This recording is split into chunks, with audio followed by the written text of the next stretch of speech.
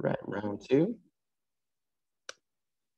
All right, Mark, welcome back. And those of you that are just joining us, uh, just so you know, Mark was also on our podcast last week. We were talking about too many great things, so we decided to uh, make it a, a two-part episode. But so if you did not catch that first one, please make sure you go back and check that out on YouTube, uh, Instagram, Facebook, Twitter, or Spotify, of course, if you're listening to that audio.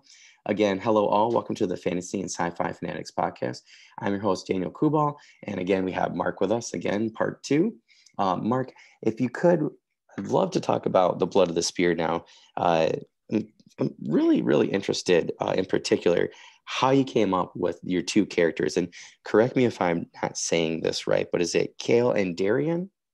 Yeah, um, so I pronounce it in my head Kyle, but Kale Kyle. is completely fine. Um, most of the words or names I make up in the um, book uh, pretty much phonetically. You can pronounce them phonetically. So oh, cool. that that's good spelled. That's how that's how you pronounce them. Oh, cool. um, but for this particular one, I pronounce pronounce Kale or Kyle in my head. Um, I've been world building this particular world for many, many years. Um, I love world building. It's one of my favorite things ever.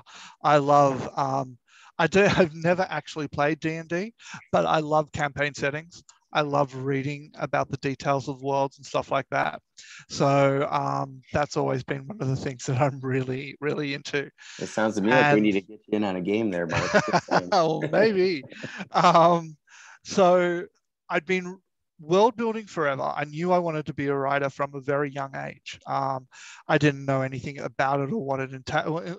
Obviously, I knew that you had to write a story, um, but the actual way to write a story and to develop and structure a novel, stuff like that, took me a long time to learn. But I didn't have. I had my world, but I didn't have a story. And I was flipping through um, art online um, through Larry Elmore, uh, his mm. his um, online gallery. Yeah, yeah. And I became across a image of a fight between two men. One was dressed like a warrior or a knight. He had like chainmail on and um, a great big sword. And the other was in robes, was had a shamanic headdress and a staff. And they were kind of like at cross purposes. They had the staff and the sword. There obviously a battle going on. And I was like, oh, this is a really cool image. Like some of some of his artwork i don't like the the images of the characters that he portrays. I'm just like oh no it doesn't work for me. Um, but these two looked fantastic. And i started wondering who are they? Why are they here? What's the fight about? What what led to this point? And i started creating a story in my head about them.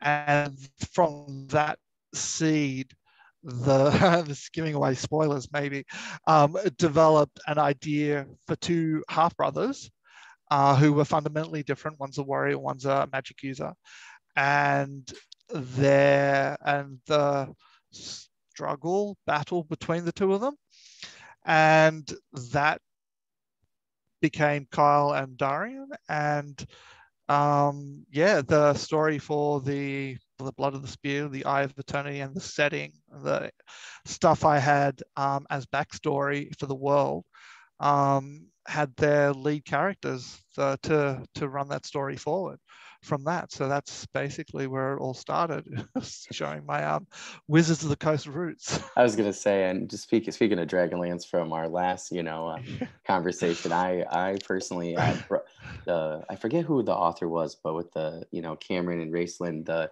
the Margaret and Tracy Hickman. Oh, yeah, yeah, so the yeah, yeah, yeah. So the these brother, were my formative years. Brother and Brothers in Arms, I think, is what it was. yeah. Oh, oh okay, my gosh, right. that had to be one of the best books I've ever read in my entire life, and I think it's when they basically are. I don't think I read that one. Oh, I you have to go read it like tomorrow, yeah. okay, or today, okay. your time, right? Like go go go get it yeah. and just get it, or find it from the library. It is, mm-hmm. it's honestly one of my favorite books of all time, and it's very, you know, it's it's I feel like it does a great job really with their relationship and you know it really shows the differences between them but also shows mm-hmm. that you know at that core heart they're still brothers kind of thing and the rest of the uh like people that are around them like uh, I think it's the one where they join the mercenary company and they right. basically have to like I can't forget if it was yeah they have to like break into this uh this keep and it, I don't want to give anything away but I have to say it was like the cover is one of my favorites because and that's what really reminded me like, of your cover. Uh, and then when I read the description for your two characters, it's like they're literally like standing back to back, and you know Raistlin's in his you know his oh his yeah that that that and- actually that image yeah that rings a bell. Yeah Yep, yeah. it's if you yeah it, it's so really good. look I, I can't deny it. They've been big influences on me as well. But you know they were twins. These guys are half brothers. So you know there's the difference. But I still like um, it though because you you took yeah, you know yeah. the the you know because we always talk about that right we just talked about in the last uh you know, part one of this interview and Yeah. you took something that you know were from your roots but you turned it around and made it very interesting uh like to me at least like I I like that it's it's a similar trope I feel like but you turned it on its head because there Yeah. you know I I just I like how you how you did that I it, you can still see the roots but it's it's new and different uh yeah at least from from my perspective. So I I Yeah. really liked it when I read it from your description and from uh, a couple things that you had said on Twitter. So I was like, oh yeah. Then I was like even more on board because you know it's again in that I'm waiting in that familiar you know those waters that territory, but yet it's refreshing because it's new and you know and it's engaging. So I, I was really interested in that. awesome makes people pick up the book that's even better Amen to that. Uh, for our second one, I was really interested in what a demon Hunter is and who in particular the Bronze Guard are. Sure. So demon hunters are a order, uh, a military order. Um, they're an elite fighters. Um, their official name is Castarian. They are Castarian. It's uh, one of the old, the old tongue or High Assyric is uh, the old tongue in my world, and uh, um, they are. So basically, the the premise of this world um, and I think this is actually going to jump into some of your other questions as well, but it all kind of relates. So, um, this world, about 3,000 years prior to the start of this story, there was a race of humans who were known as summoners, and they were able to summon elemental beings from uh, different dimensions. And that gave them an enormous amount of power and with that power they built this utopia like civilization uh, on on the world sobia. Um, a group of those summoners um, at the height of their of the civilization's power or prestige decided that they um, will look wanted to look for a, for a way to find immortality. And they opened a gateway to the void. And in the void they fell prey to the temptations of a dark goddess Mm. the demon queen. And they began summoning demons instead of the elementals the um, empyrean so the um, demons demons started coming forward um, they were basically these these um, fallen um, summoners uh, the summoners were also Sarin. They're called Sarin, and these guys who fell were the Duvak Sarin. And so it's almost like you know, there's the light side of the Force and the dark side of the Force. yeah, so yeah. the Jedi and Sith. Um, and when the there basically became, became a civil war between the summoners and, and the dark summoners. And the climax of that war saw the destruction of the, the of the civilization. Um, the continent that the story is set on athme basically split in two. Hmm. um, the middle section of it sank and the waves of the ocean filled it um, so created an eastern half and, and a um, the the what do I call it? The um, eastern realm, realms and the the western realms and the eastern half.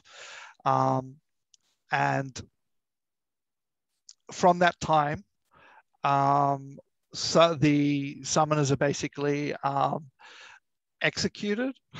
Okay. Anybody who who is born with the mark of the summoner, which is a um, a symbol that appears like a tattoo on the back of their hand, but it's Oh, like a that's cool. holographic tattoo. It- it's actually three dimensional. It's above the hand.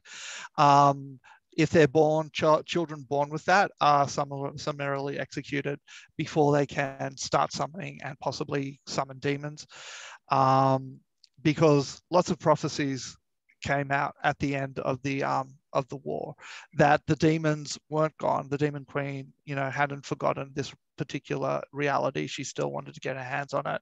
Demons would come again, and they would forever hunt people who had the ability to summon to possess them um, and open the try and open this massive gateway for this dark queen to come through, uh, dark goddess to come through. So summoners, anybody who's born with the mark of a summoner is executed. Anyone on whom it appears later in life, because you're not always born with it, it can develop over time. Oh, cool. uh, anyone who finds it, who who develops it, is then executed as well. They want to. Everyone wants to make sure that this doesn't happen again. Um, so there's this actually this big tradition across the civilization when you greet someone that you've got to show your hand. Oh, that's cool. To show that there's actually nothing on it. Oh, that's, that's um, cool. Speaking so of world building. yeah, right. Something uh, simple uh, so, but really unique. Yeah, so there's that like gloves and things like that have like a flap that you can oh, undo cool. and show the back that's of it. Cool. Um, so th- the Casterian, the demon hunters, actually uh, come from that war and they are still around. They're not a particularly large order these days because demons are so rare, but um, there is a particular um, place on the continent called Dalmir or the Deadlands, where their reality is um, we uh, the the veil between dimensions is really weak there because that was where the the final climax of the war took hmm. place mm. that caused the sundering and demons, smaller demons, can push their way through these um, these thin, the thinning of the veil there. Um, they work their way out of the Deadlands, and the demon hunters basically hunt them down and kill them before they can get oh, to any of the other realms. Kyle and Darian uh, live in the Borderlands, which is the stretch of land between the realm of Aldania and Dalmir, the Deadlands. And that's basically where the, the demon hunters uh, keep, uh, have their base and that's something that Kyle always wanted to do. Although there are three citadels which are leftovers from that war as well. The three citadels are where these refugees um, have built themselves a home that is separate to the laws um, of the clans that rule the other realms. Um, and they're kind of independent, living on these these outskirts. Um, and Kyle and Darian live there, and Kyle wants to to join the demon hunters. That's what he's always trained for. Um, and without going into spoilers, there's not um, there aren't many demon hunters around for a specific reason. Okay. Um, and of all the applicants, have to be whittled down to one, mm. who basically becomes an apprentice to a um, a demon hunter proper. Um, spoiler alert, but it's the first chapter stuff, and it is talked about in the in the blurb. But Kyle fails his test mm-hmm. for reasons, um, and he has to go back to the drawing board as to what he's going to do. Um, and at this time, one of the um, princes of Aldania is on the borderlands as uh, in a role of a provincial governor and he has um, hired a mercenary company called the Bronze Guard to act as his guard while he's uh, touring the uh, three citadels. Um, and Kyle has had some interaction with the um, the soldiers in the mercenary company, and having failed to complete his trials, but having had the training to that point of a demon hunter, these are elite um, warriors uh, he's considered a viable candidate to mm. join them, and so they offer to sponsor him into um, into the Bronze Guard. So. I, I don't know if we have to ask you any more questions, Tim. I think everybody should just go out and buy the book right now. And if you don't, you're very silly. Uh, again, I, I just want to stress to people that as soon as I had read the description, between that and you know talking to Mark and looking at Felix's art, I was like, so like when's book two coming out? Like yeah, right. and well, here's the thing: is like so I you know I had um you know I had talked to certain people and um so like I'm reading um I if you like uh grim dark fantasy uh, I'm gonna have on uh, future is uh, Christopher uh, Brenning and um he's got the Hellborn King. So I'm almost done with that. It has been really hard for me I feel really bad because his is such a good book. It's yeah got to be that and um, Robert J. Hayes' Never Die were two of the best books I've read in the last 10 years. I yeah. struggle on my phone. I struggle and I have it on my phone. And I was trying okay. to go to actually I was trying to go meet Chris at one of his shows in Wisconsin to get the physical book. And I guarantee you, if I'd had the physical book, I would have been done a month ago. But I keep having to set it down. I think I need to get an actual Kindle instead of reading on my phone. Uh, but I got him. I'm almost done with. The book is absolutely amazing. Uh, I'm reading Clayton's uh, River of Thieves, uh, which is absolutely incredible. And then uh, I'm about to be on uh, Scott Oden's A Gathering of Ravens, which is, if you haven't seen that description, it sounds just an amazing. Yeah, I've got it. I haven't yeah, read it yet. I've got yeah. it though. So yeah. Yeah. So you're my fourth right now. So as okay. soon as I can All right. finish those two this week and then get to uh, get to uh, Scott's and pay justice, uh, I'll be on yours. So I'm like, man, I'm like, I've been been on a roll lately, you know. and I, am like, you know, and I was talking to uh, Benjamin, another, uh, he's a, a, another guy on Twitter I talked to who's a booktuber and um, has his podcast and YouTube channel, and yeah. he does a lot of reviews. He's like, man, he's like, he's like, you pick some good books. I'm like, I'd try, and you know, like, uh, but yeah, like I'm really excited to uh, to get to yours here. I'm hoping in the awesome. next couple weeks. I was hoping to already be there, but I, I think in the future, I'm like that's, that's okay. I'm getting your book on, you know, print. Yeah, yeah. I I'll fly through a print book. This, and I think of my friend. You made a good point. He's like, you never have read on Kindle. Um, so it's like one of those things. I just did want to say one thing to plug my friend uh, CL Schneider, and I'm just totally blanking right now. Uh, but it it's just so interesting to me that you and her both have some very interesting um, correlations uh, with your type of fantasy. Um, mm-hmm. And I was, she was another one where actually I'm meeting her um, near us in here in New York to actually get her books physically. Yeah. Because uh, I'm struggling uh, to read them, and it's it's sad because I'm not doing yeah. I'm not doing the books justice on yeah. you know, on my Kindle. Uh, but I was reading one of hers recently um, again, and it's just interesting because I'm gonna blank on this character. Um, but her main character, uh, it's the Crown of Stone series. Um, and the book one is called Magic Price. And uh, she has a, uh, a character that's very similar um, to, I feel like, uh, from Kyle. Um, and it's just interesting to me to see two different writers have, you know, very similar character descriptions. Uh, with such unique characters, and there's yeah. a lot of differences and things like that. But in terms of how um, how you guys have described those characters and from what I've read of her so far, it just seems like again that's my cup of tea because I really mm-hmm. liked um, you know like um, Geralt from The Witcher and she did a great yeah. job of taking that and then turning it into something else. And my sure. buddy and I were like, man, like you know, and we were talking about your book and I'm like, you know, here's another just like elite warrior who's you know putting in a really hard situation and has to make yeah. decisions and you know is tempted by the dark side so to speak i feel like and yeah. you know and has to choose what to do in that you know really affects everybody else and i i realize like i'm really drawn to those type of characters i think because i'm such a huge luke skywalker fan and yeah. just star wars just in general and i uh, I, I like yeah i like a lot of those same um you know tropes or you know characters and it's, it's again, I it's mean, a comfort blanket for me. Yeah, absolutely. I mean, I can easily say that, yeah, uh, Caramon and Raistlin were like uh, pivotal for me in a template for these characters. But in some ways, you could look at them go, oh, well, that's Thor and Loki. Yeah, you know, yeah, yeah. No, right. Yeah. So the same, the same thing, and it's like, yeah, totally. It's like I, I, I get that. I can see where it is. So I guess there's, you know, uh, probably a I'm sure somewhere somebody's talked about the trope, but it's something that you know we've we've tapped into, and you know that's it's a trope or a, an archetype that is coming forward in our writing for sure. So um, then uh, what's your next question? Is about Darian?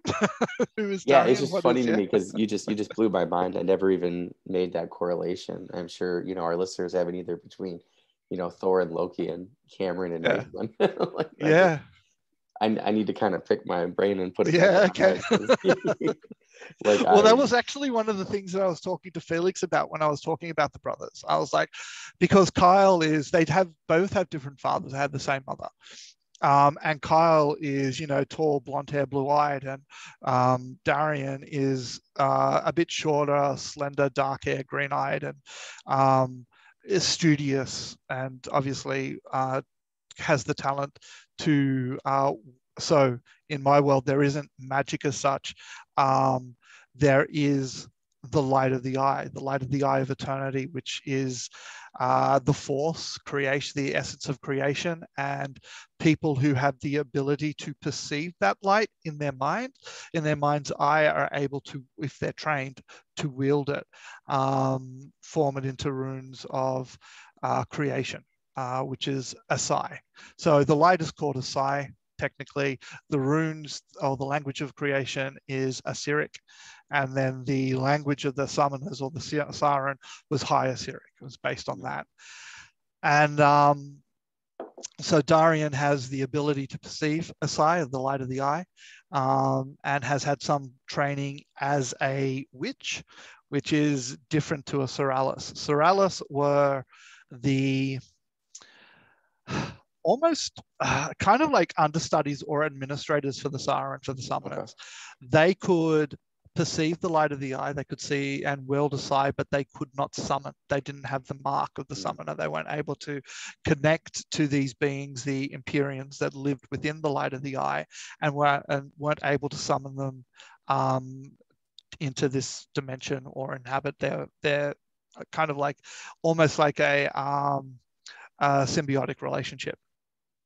Um, so they could wield uh, and use the language of creation, but they weren't able to see it naturally, which the summoners could could mm. do. So they've learnt from books that the summoners have written. Um, so their power is limited to a degree. And it is broken up into, into elements. So there's fire, water, earth, air, and spirit um, or soul and um, Darian has the ability to perceive the uh, light of the eye, and he's decided that um, he wants to pursue training as a Seralis. He was apprenticed to the keeper of the citadel that he was in, and a keeper is a witch. They don't use they they wield the light of the eye, but they uh, kind of use it in a less powerful way than Seralis or the summoners did. They don't utilize it with the runes of the language of creation. They kind of like um, imprint their wants or desires on it and it kind of like takes shape or form. Um, but if you can actually get in and change the pro the base programming of everything around you, um, which is what the language of creation tends to do with the with with the, the light of the eye behind it, um, and when the Prince of Aldania, Prince Alisander, comes to the citadels, he has an advisor who is a Seralis. Mm. And this uh, Seralis uh, sees the talent in Darian and basically takes him under his wing, uh, offers him an informal apprenticeship. And when Alisander is uh, leaving to return to the capital, to go with um, his teacher, um, and apply for um, admission into the uh, Palace of the Eye in Asolia, which is the um, city state of the Seralis mm. in the north. In the north, um, and Kyle coming back um, from having failed his trials as a um, to become a Cassirian or a demon hunter is kind of like you can't do that. You know, magic using is is evil. That's that's how the world was destroyed last time. Um, he doesn't want Darian to go, and Darian's like, I'm going, regardless of what you say. Yeah. Um, they move along. The story moves along a bit, and um, they're being on the borderlands with demons that come out of the Deadlands. Mm. Um, there is a, a battle against a demon.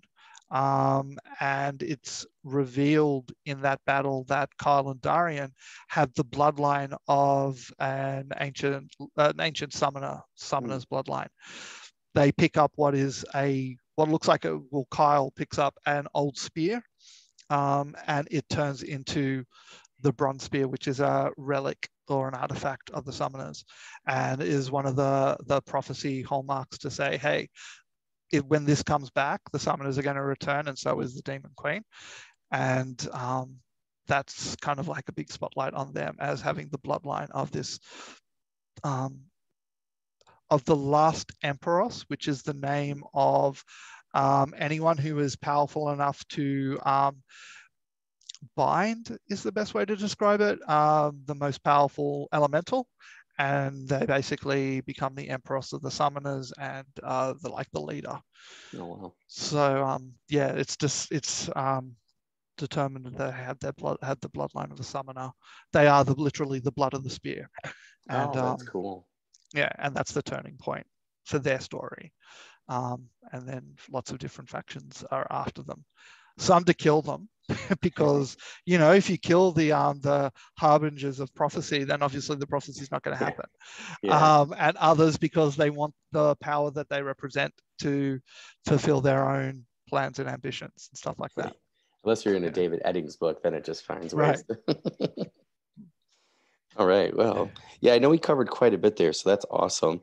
Um, yeah, I'm kind of curious for number seven here. So, writing a prophecy, really, I always think about doing it, but again, I read David Eddings and you know, um, you know, Wheel of yeah. Time and things like that. And mm-hmm. how, how, and I know yours says, you know, in the description that there's a prophecy.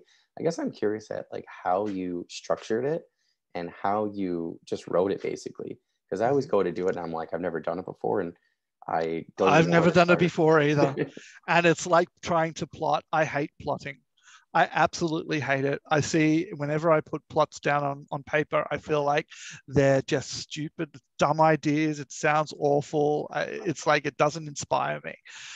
And I was like, oh, you know, Robert Robert Jordan is like one of my all-time favorites. So like I started with Weis and Hickman and then I got to Wheel of Time and it mm-hmm. was like mind blown. This is like literally the type of stuff I want to write. This is mm-hmm. the scope I want to do it in. This is where I want to live in these types of stories. Yeah. And yeah, he blew me away with the stuff that he did. And his, oh, that um, first 50 pages. Planning. Well, yeah, that yeah. first 50 pages. just like his prophecy stuff, right? Yeah, yeah, That's yeah, like, yeah. it's basically like scripture. Yeah. Those first two books um, were two of the best I've ever read because of that. Like I, you know, you're, yeah, like I think I'm on book, about to be on book six actually. And yeah. I just i went back over book all of them actually um yeah. on audible and i just was even oh they're fantastic. oh, oh i fantastic. love them. They're fantastic. Kate Reading could read me the phone book. Like literally love her so I much. totally agree. Um yeah like so her Moiraine was incredible. I just yeah. i think it's going to be ruined for me now like you yeah. know on, yeah on the, it's the not TV the same. show. but yeah but yeah she was fantastic. I i yeah. try telling my buddy because we're actually going to um we're gonna we're getting done with Malazan Book of the Fallen. We're on yeah. halfway through Reaper's Gale, so book seven. And after okay. that, he's like, I want to read Wheel of Time. I'm like, I'm down. like, yeah, I'm down too. I'll read it again. Yeah, yeah, yeah. We, I'll get you in there. Yeah, we'll we'll book. Yeah, for yeah. sure. Yeah. Oh, Sounds oh man, good. I, yeah, I can't wait. It's gonna be. Yeah. Really, I I said to him, I was like, well, when I haven't read the first, you know, four in probably seven years. You know, so I feel like it's gonna be. Yeah you know brand new again and it'll be my third time you know going through the story. And yeah it's yeah i definitely yeah, I've, there. Those are, those i've read them multiple times so it won't be it will be like my 10th or 12th time. But yeah that's okay that's fine. Um so when i came to prophecy so i definitely looked at what jordan did. And I looked at what he wrote in the, you know, he like bookend a lot, a lot of the the novels with something at the beginning and something at the end. Yeah, yeah. Um, and I also play a lot of World of Warcraft, so oh, cool. um, I have been for years. And in the, the expansion Legion, there was um, a prophecies that kept coming from an old god that were really bizarre and like on the surface don't make much sense, but they're kind of intriguing. And there's a lot of symbolism in them and what could it possibly mean? And there are like lots of forum threads with people trying to decipher them and stuff still. And some are being deciphered as expansions come out and like, oh my God, that's what was meant with this and stuff like oh, that. Cool. So I saw that and I was like, all right, well, plotting. I know the beginning of my story, I know the middle parts, and I know the end. There are parts in between that I'm still discovering as I go. Mm. But I know where Kyle and Darian are both going. I know what happens at the end and how it's going to be resolved. And I know other parts that are a little bit uh, deeper beneath the surface of the first plotting that people aren't aware of yet. Um, so I started picking those things apart and moving them into threads of the prophecy. So basically, they, they became a bit of a stepping stone of events that are too happy. Um, I uh, paint on symbolisms